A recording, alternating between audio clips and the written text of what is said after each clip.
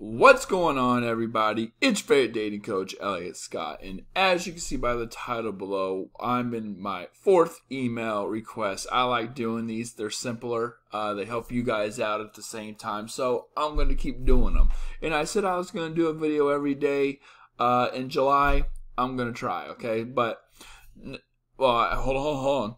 I was going to jump into it. This is a short email too, by the way, so thank you. Secondly, if you haven't yet, please subscribe, okay? So, hi, Elliot. So, I met this guy from Tinder. Uh, he asked me out one night and we got connected right away and we kept texting. He checks on me maybe three or four times a week. We have met three times already. We had intimacy on the third hangout.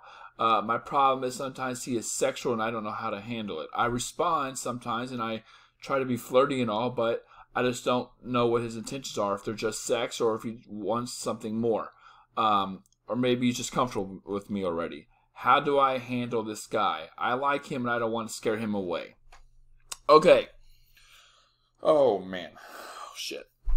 So here's the thing all guys want sex. Okay, for the most part, there's those there's those fucking soy boys who you know are fucking little pansies, and I don't know whatever. You know, oh, I don't, I don't want to touch you. Uh, let's just see where it goes. For no, like fuck that. Like all guys, for the most part, want sex. So what's hard to decide now? Okay, hold on. Let me, let me back up.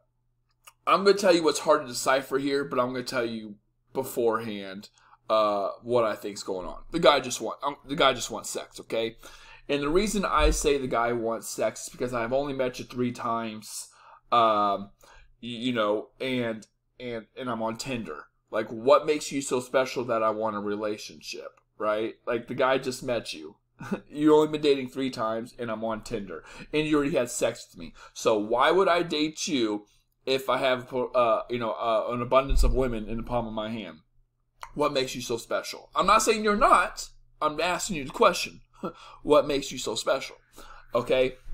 So now, with that being said, I don't ever want to jump to that conclusion a lot of the times as a coach because that's not fair. You're not giving the guy the right to a free trial, you could say.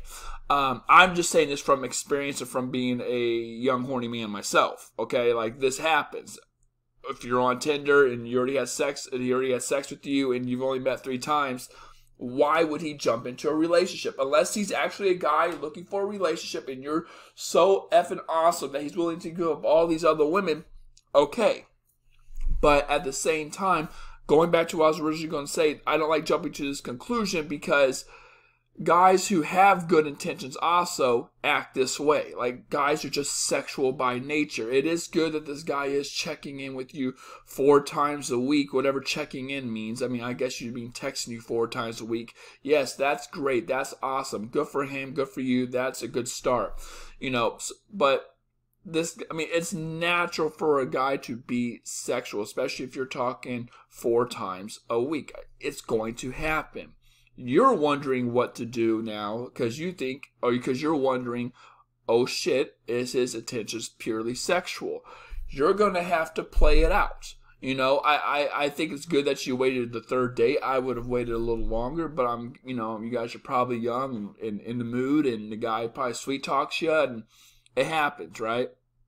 But uh, I would wait it out I would not make any conclusions. If you don't want to scare the guy away, don't get. Why could what usually happens in this situation is the girl gets in her head because I can already tell you're freaking out because you don't know what side he's on, and you want to figure out. And so by getting that validation, you're going to start digging and start. And when you start digging, you start asking questions and you start acting different and you start doing things differently to get that validation.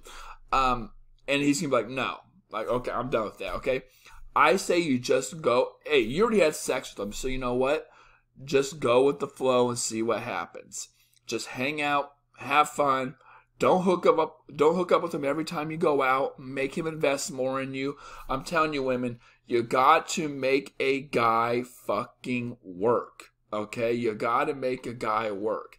You, this guy has only seen you two other times, besides the third time you hooking up with him, and he only and he, and he just checks in three times a week. Like that's not work. You got to make the guy invest his resources, time, energy, effort, money, and things like that to uh, to see where it goes. Okay.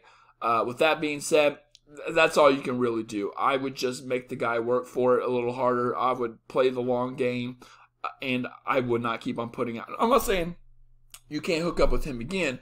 Just don't make. As soon as the guy starts expecting the hookup, that the expectation of a hookup when you guys hang out, that's a problem. Okay, so that being said, I love you. Take care. Peace, ladies.